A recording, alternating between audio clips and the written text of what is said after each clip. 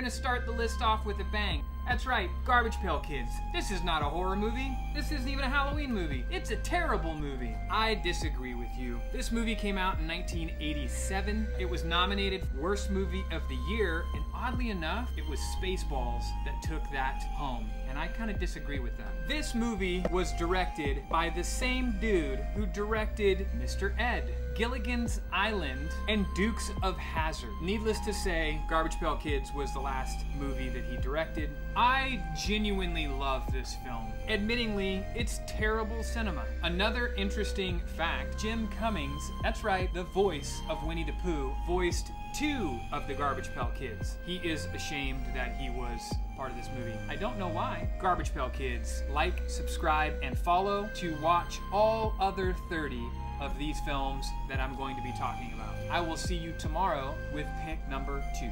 See you then.